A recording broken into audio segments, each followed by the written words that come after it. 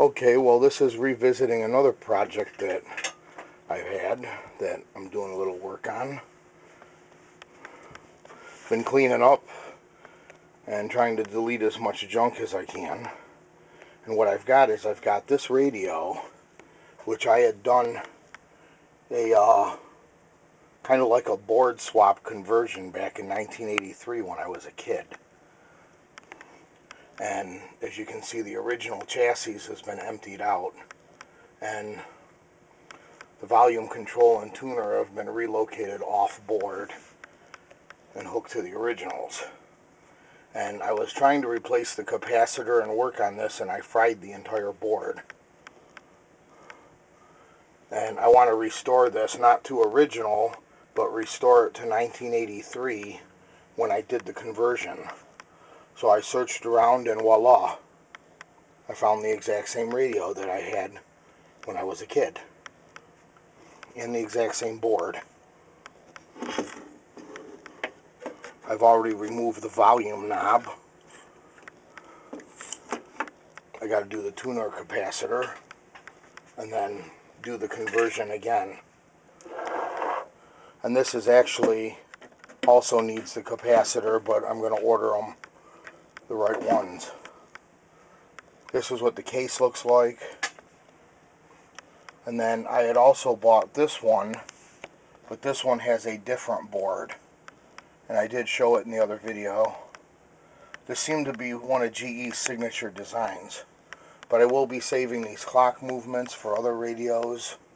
And the motors out of these clocks can be worth some money. Because they're irreplaceable to people that need the motors.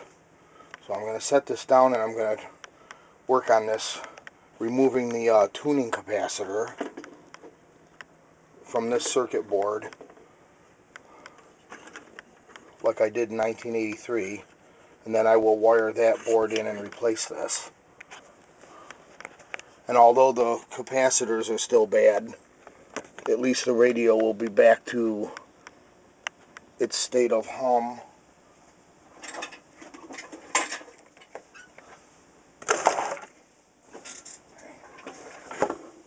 This isn't really a professional studio by any means.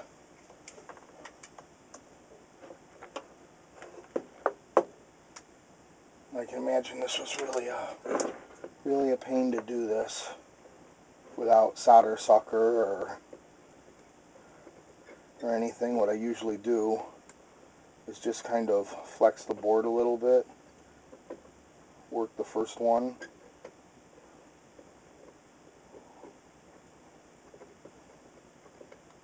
I think these guys bent these over, the little bend tabs on them or something.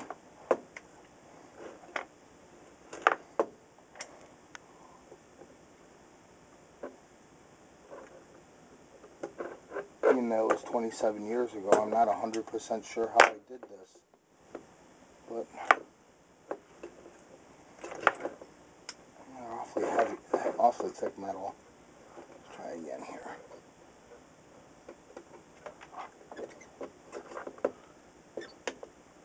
There it goes.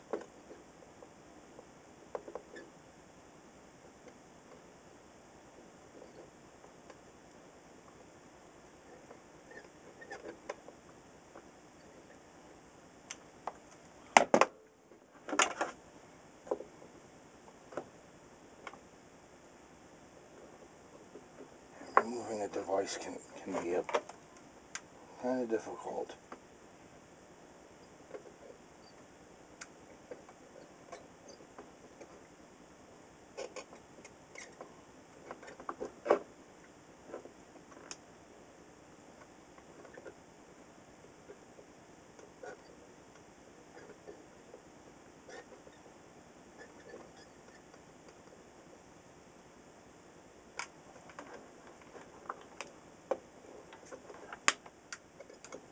Nice thing with these really old circuit boards is they're so primitive that even if you mess them up you can just do a point-to-point -point bypass.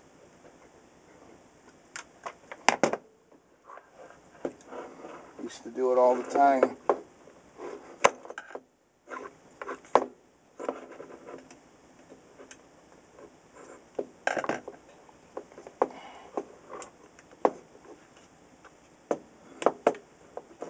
Things used to be built to last forever.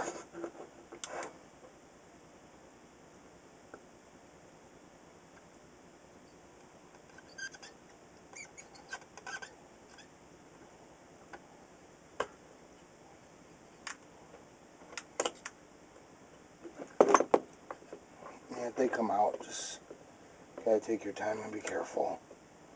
We got two more connections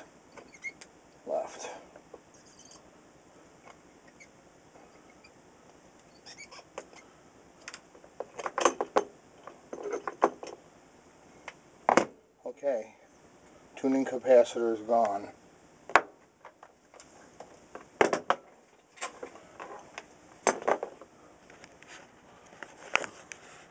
Now what I guess I did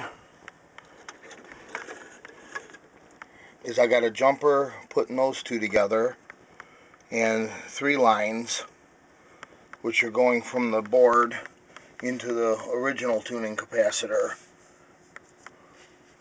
and I'm going to simply replace the board as if I'm replacing the proper board and I had done the same thing with the volume control.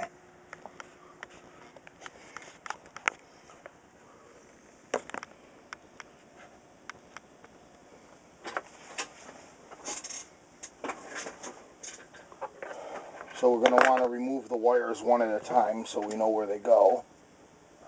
This is how I replace modern parts and stuff.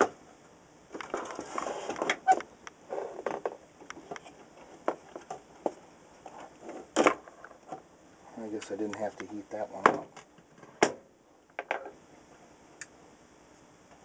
Emphasizing the fact you can only do one at a time because there's no schematic for this radio now. It's a homemade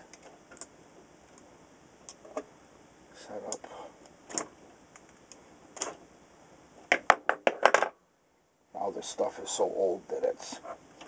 In fact, I think what I'll do is I'll just trim these off. Leave about a quarter inch of the insulation so I know which color goes where. And I can board out of the way.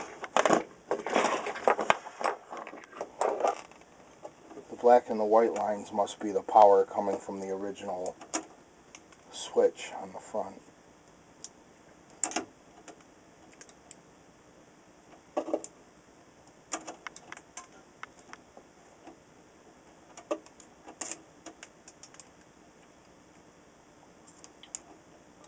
This is really a stupid mod.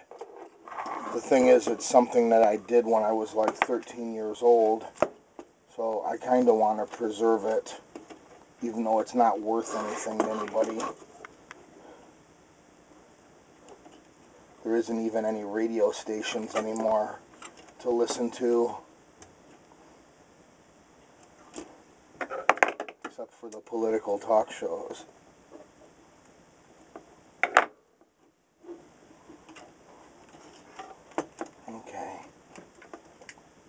the white wire. The hole is full.